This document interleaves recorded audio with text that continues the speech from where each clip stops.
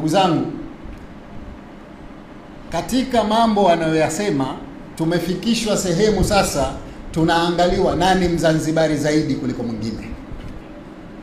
Kila siku nawaambia, Zanzibar ni kisiwa.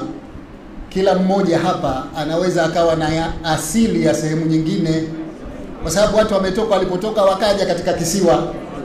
Wengi wetu hapa tuna asili ya bara, wako wenzetu hapa wenye asili ya Ngazija, wako mpaka wenye asili ya India, wapo na wengine ni hao katika wanaozungumza kwamba wao Wazanzibari zaidi. Mimi nataka niwaambie, ubaguzi ni jambo baya.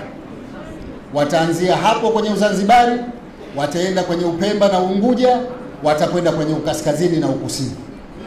Haya mambo lazima tuyakemee, tusirudishwe kwenye ubaguzi. Sisi tumejenga taifa moja. Sasa hivi hatuulizi, mimi huwa siulizi mtu anatoka wapi wakati nachagua. Wewe mradi Mzanzibari unafanya kazi, unachaguliwa. Lakini haya ndio maneno ambayo ukisikiliza wenzetu kwenye majukwaa wanazungumza sasa hivi, oh, unajua mimi Mzanzibari kuliko wewe. Umeupata wapi Uzanzibari kuliko wenzako? Hospitali zimejengwa, vifaa tiba vimepelekwa. Zamani vipimo vingine ilikuwa lazima watu waende Dar es Salaam, sasa hivi vinakwenda mikoani. Mikoa mingi hospitali zina zina zina vifaa tiba na vifaa vya matibabu vinapatikana. Kwa hiyo hii, ukiwa na afya, maana yake nini? Maana yake utibiwe, uwe mzima, ukafanye kazi, tulijenge taifa. Na niseme, nasema kwa ujasiri mkubwa, kwa sababu nimekuwa ndani ya upinzani miaka ishirini. Miaka ishirini ni umri wa mtu, sawa jamani, na sio kichaa. Umri wa miaka ishirini, niseme kwa ujasiri kwamba ndani ya Jamhuri ya Muungano wa Tanzania hakipo chama kingine kinachoweza kufanya shughuli za maendeleo na kudumisha amani na utulivu kama Chama cha Mapinduzi. Kifua mbele kwamba Watanzania mko salama chini ya Mheshimiwa Samia Suluhu Hassan. Mnasemaje hapo? Nakumbuka siku ile maana kuna watu wanasema Msigwa sasa umeshatoka Chadema usiseme. Nikasema hapana, hivi unaweza kwenda kanisani usimseme shetani? Lakini nuru ilivyonizukia, nguvu ile ile, juhudi nitazunguka kueleza uzuri wa Chama cha Mapinduzi, na msidanganyike kufanya kazi na vyama vya upinzani. Vijana na kina mama na wazee, muungeni Dkt. Samia Suluhu Hassan, tuendelee kujenga nchi. Na niwaombe, niwaombe, nashukuru sana, niwaombe heshima kubwa tutakayompa Mheshimiwa Dkt. Samia Suluhu Hassan ni kuhakikisha vitongoji, vijiji, mitaa, vijiji vyote mitaa yote. Asanteni. Nimeambiwa kuhusu changamoto ya vitambulisho vya NIDA. Timu za wataalamu wa NIDA wanapita maeneo mbalimbali, lakini kasi ni ndogo. Nimeambiwa mpaka usajili wa simu watu wanalazimika kutumia vitambulisho vya kuwazima. Uongo kweli? Na kusema ukweli, ukiona wananchi wanang'ang'ania vitambulisho, ujue wananchi hao wanajitambua ni wazalendo, wanaipenda nchi yao, wanataka watambulike kwa kitambulisho cha nchi yao. Kwa hiyo nasema, naagiza Wizara ya Mambo ya Ndani kuharakisha mchakato wa Wanangara kupata vitambulisho ili kila mtu apate haki kamili ya uraia na anufaike na kitambulisho hicho kama wanavyonufaika watu wengine bila kulazimika kuwazima. agano au ninapokwenda kuongelea kitabu hiki cha kwanza kuelekea uchaguzi mkuu, wapi viongozi wa dini tunatakiwa kusimama. Viongozi wa dini nataka watambue kwamba Tanzania ni tajiri. Watanzania nataka waelewe kwamba taifa lao hili ni tajiri, sio taifa maskini. Lakini kwa bahati mbaya sana tumekuwa tukiingia katika uh, lindi la umaskini na ombwe la umaskini ambalo si takwa la Mungu na wala si takwa la Watanzania, bali ni takwa la watawala linalosababishwa na serikali iliyopo madarakani, serikali ya Chama cha Mapinduzi. Sasa serikali hii ninaposema ni serikali ya Chama cha Mapinduzi, sina maana nyingine yoyote. Makamu mwenyekiti pamoja na viongozi wengine wote waliopita hapa Tanzania waliwahi kutanabaisha na kufafanua kwamba serikali iliyoko madarakani ni ya Chama cha Mapinduzi na itawajibika kwa Chama cha Mapinduzi, sio kwa Watanzania, itawajibika kwa Chama cha Mapinduzi. Kwa hiyo hata kwenda kuwatekelezea Watanzania matakwa yao, kwenda kujibu hoja za Watanzania, wanaangalia kwanza maslahi ya Chama cha Mapinduzi, wanaangalia kwanza athari za Chama cha Mapinduzi. Chama kitaathirika namna gani, au chama kitayumba namna gani, au chama kitasimama namna gani? Kwa ndio maana halisi ya kusema serikali ni mali ya Chama cha Mapinduzi. Chama cha Mapinduzi kina remote serikali ifanye chenyewe kinavyotaka, sio Watanzania wanavyotaka. Sasa mimi leo hii nataka niwaambie viongozi wa dini, ni wakati umefika sasa wa kuwaambia Watanzania tusiwe na serikali ya Chama cha Mapinduzi, tusiwe na serikali ya Chama cha Demokrasia na Maendeleo, Chadema, tusiwe na serikali ya vyama vyovyote vya kisiasa, bali tuwe na serikali ya wananchi kama ilivyo Kenya, kama ilivyo South Africa, kama ilivyo maeneo mengine. Chama cha siasa ni njia tu ambayo wanapitia watu kwenda kupata uongozi wa kidola, na wanapopata uongozi wa kidola kwenda kuiongoza nchi, haimaanishi basi serikali badala ya kuwajibika kwenye matakwa yake kwa kuwalinda wananchi, iangalie kwanza matakwa ya Chama cha Mapinduzi. Hilo ni kosa kubwa sana, na nitamke kama mtumishi wa Mungu ni ujinga kwa sababu tunafanya pasipo kuelewa. Serikali ni mali ya wananchi, sio mali ya chama. Na kama serikali ni mali ya wananchi, basi serikali inatakiwa iwajibike kwa wananchi, na kama serikali ni wananchi na wananchi ni serikali, basi serikali ni kwa ajili ya watu walioiweka madarakani. Kwenye eneo hilo sasa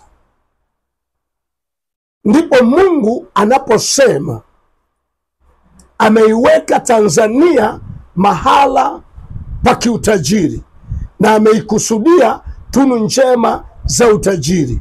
Ametupa madini, ametupa mbuga za wanyama, ametupa almasi, ametupa dhahabu, ametupa kila alichotupa, maziwa, mito, bahari na kila kitu.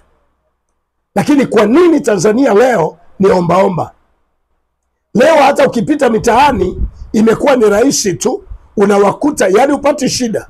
Ikifika siku za Jumamosi au za Ijumaa, unakuta wanawake kwa wanaume wamekusanyika kwenye makundi ya kukopeshana, makundi ya mikopo, na mwisho wa siku mikopo imevunja ndoa, mikopo imewakimbiza watu wasimwabudu Mungu na ikapewa jina la kausha damu. Lakini chanzo cha Watanzania kuingia kwenye lindi la umaskini kuingia kwenye mikopo ya kukausha damu ni nini? Kwanza, shida ni hii: kiti cha enzi cha kifalme kilichoko juu ya anga la nchi sio kiti cha Tanganyika, sio kiti cha Tanganyika, wala Mungu hajui Tanzania, sio kiti cha Tanganyika. Mungu anajua tang... sio kiti cha Tanganyika, ni kiti cha Tanzania. Mungu anajua Tanganyika, hajui Tanzania. Mungu anajua Tanganyika, hajui Tanzania. Kwa hiyo kiti cha enzi cha kifalme kilicho juu ya anga la nchi ya Tanganyika kimebadilishwa na kikabadilishwa hata jina na mamlaka, kikapewa jina Tanzania badala ya Tanganyika. Hili ni pepo, hiyo ni roho. Sasa kwa mazingira hayo, ndio maana utaona ubadhirifu mkubwa ulifanyika kwenye mbuga za wanyama, watu kwenye kugawana vitalu vya kuindia wanyama, enzi za waziri wa maliasili Zakia Meiji. Kulikuwa na ubadhirifu mkubwa na ulaji fedha mkubwa za Tanzania, lakini tumeona mikataba mibovu ya madini ya Tanzania. Shahidi wa kwanza ni Rais Dr. John Pombe Magufuli ambaye alipokuwa waziri alisema Tanzania haina mikataba feki, lakini alipopata tu urais wake, kitu cha kwanza alichodili nacho ilikuwa ni mikataba feki iliyoligharimu taifa kuingia katika ombwe la umaskini.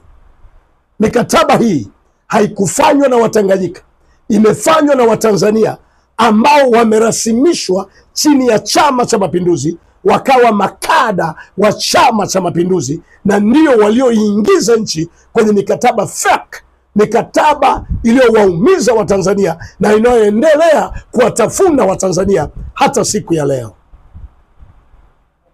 Siku hii ya leo tunapozungumza, kuna madini Rais Dr. John Pombe Magufuli aliyakamata Kenya akayaleta Tanzania, lakini kuna madini ya Tanzanite yalipatikana, serikali ikanunua.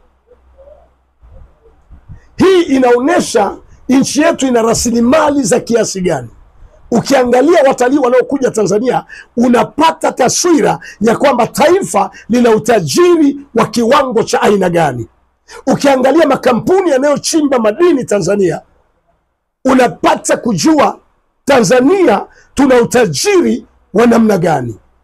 Lakini siku hii ya leo vyuo vya madini badala ya kuwemo katika maeneo ambako madini yanachimbwa, vyuo vya madini vinawekwa pwani, mahala ambako hakuna madini yoyote yanakochimbwa.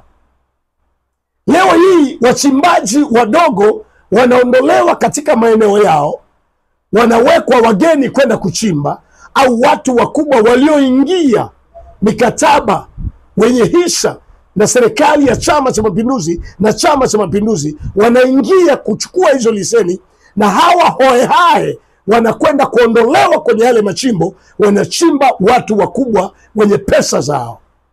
Hii ni mbaya sana, hii ni hali ya hatari. Leo taifa letu la Jamhuri ya Muungano wa Tanzania iliyogeuzwa kutoka Tanganyika imeamua kuingia kwenye sera ya uwekezaji kana kwamba ndio suluhisho la kurahisisha na kupunguza makali ya maisha.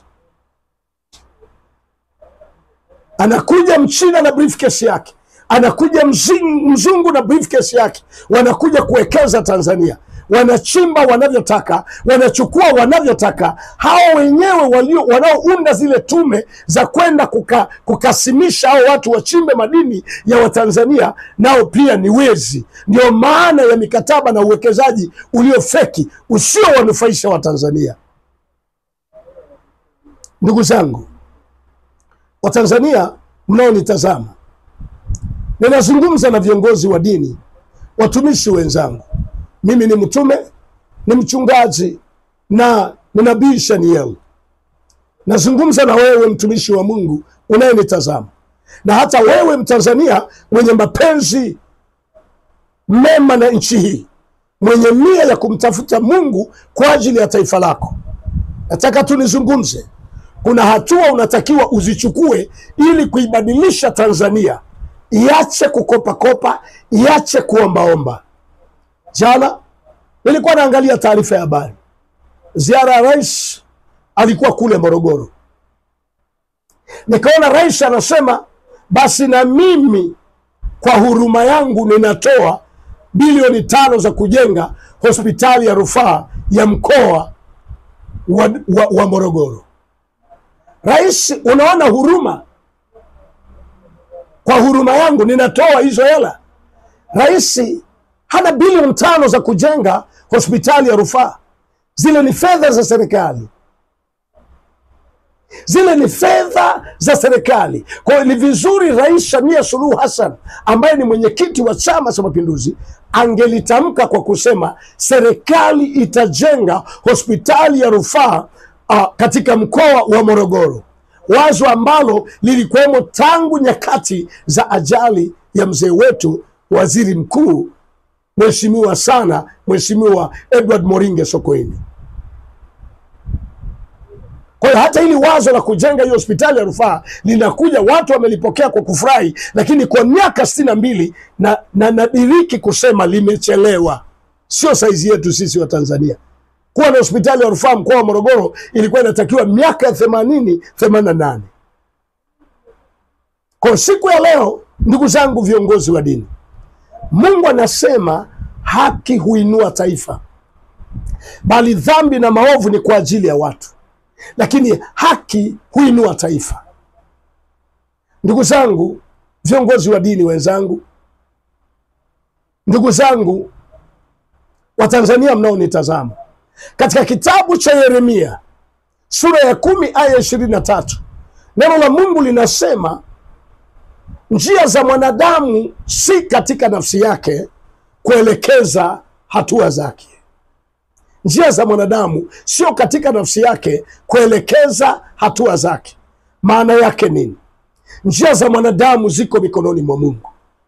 Njia za Tanzania ziko mikononi mwa Mungu, na ndio maana Mungu akasema taifa bila mashauriano, taifa bila mashauriano linakwenda kuangamia. Maana yake nini mashauriano? Mashauriano maana yake tupate siasa bora. Siasa bora maana yake itupe viongozi bora. Viongozi bora maana yake watupe bunge bora, watupe rais bora, watupe madiwani bora, watupe wenye viti wa mitaa walio bora. Hapo ndipo Mungu anaposema katika Zaburi ya thelathini na mbili aya ya nane anasema nami nitakushauri na kukuongoza na jicho langu likikutazama. Mungu yuko tayari kuingilia kati kama tutaelewa mpango wa Mungu juu ya taifa hili. Nini maana yake maneno haya? Ninakuomba wewe kiongozi wa dini unayenitazama, ninakuomba wewe Mtanzania unayenitazama, hebu acha masilahi yako sasa, tuilazimishe serikali ya Samia Suluhu Hassan kuondoa uchaguzi wa serikali za mitaa mikononi mwa TAMISEMI kwa sababu TAMISEMI ni makada wa chama. Lakini pia niombe sasa, ili tupate wawakilishi bora watakaotupa mashauri mema katika bunge la Jamhuri ya Muungano, katika mabaraza ya wilaya na mikoa, ya mabaraza ya madiwani, katika serikali za mitaa na katika WDC, lazima tuwe na siasa bora. Siasa bora maana yake huwezi ukawa na siasa bora bila kutengeneza misingi bora ya kisiasa. Misingi bora ya kisiasa ni kutii yale wanayoyaamua wananchi. Wanayoyaamua wananchi ni yapi? Wananchi wanataka katiba itokanayo na wananchi wenyewe au Watanzania wenyewe. Hiki ndicho kitu kitakachotuleta kulipata taifa bora, Tanganyika bora tunayoitaka Watanganyika. Huwezi ukaunda tume huru ya uchaguzi wakati huna sheria bora zinazokupeleka kwenda kwenye, kwenye, kwenda kwenye ucha, uchaguzi. Mimi nataka tu niseme huu ni utapeli, huu ni uongo, tena ni uongo mtakatifu. Hatutapata viongozi bora, tutapata maboksi ya kura fake, tutapata wizi wa kura, na tutafika mahala tutapata tena viongozi wasio bora ambao hawatabeba hatima ya taifa hili. Kwa mazingira hayo, fahamu ya kwamba Tanzania ina madeni, deni la taifa limekuwa kubwa. Fahamu jambo la pili, sukari sasa hivi watu wananua shilingi elfu nne wananua shilingi elfu tatu na mia tano. Fahamu sasa hivi watu wamelima mazao ya biashara kuliko mazao ya chakula. Kwa mfano hapa wamelima mchele, lakini mahindi hayapatikani. Mahindi yameanza kupanda bei, debe sasa hivi ni shilingi elfu kumi. Hivi tunavyokwenda sasa hivi, hata matibabu ya mwanadamu ni biashara. Kuna watu watakwenda kutibiwa kwenye hospitali za serikali, lakini kuna watu hawatatibiwa kwenye hospitali za serikali. Tunahitaji kuwezeshwa, lakini pia hata elimu imegeuka kuwa ni biashara sasa hivi. Ndio maana kuna mashule binafsi, kuna hospitali binafsi. Nataka nikuambie, katika shule mbovu zinazofundisha vibaya ni shule za serikali. Kwa nini shule za serikali? Serikali haijawekeza vizuri katika maeneo ya shule ambako ni agizo la Mungu amesema